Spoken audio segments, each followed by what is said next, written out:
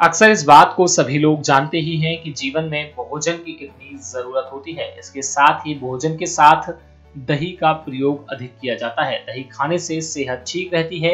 वहीं अगर बात की जाए दही की तो इसका ज़िक्र वास्तु में भी होता है। वास्तु के अनुसार किसी भी शुभ काम पर जाने से पहले दही खा लिया जाए तो काम आसानी से बन जाता है। इसी के साथ माँ लक्ष्मी को सफ़ेद रंग की चीज़ें काफ़ी ज़्यादा पसंद होती हैं।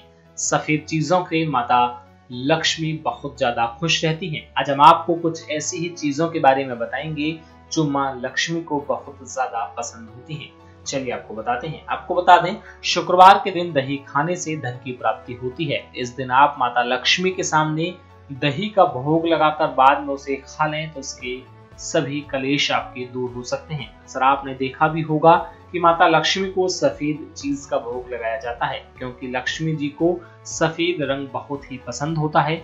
इसलिए शुक्रवार को लक्ष्मी माँ की पूजा करते समय उन्हें दूध या दही से बनी हुई चीज़ों का भोग लगाना चाहिए।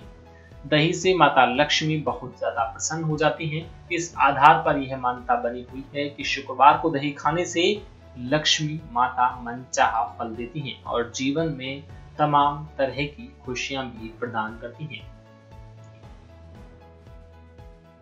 नेक्स्ट नाइन स्पिरिचुअल की report start your career with us.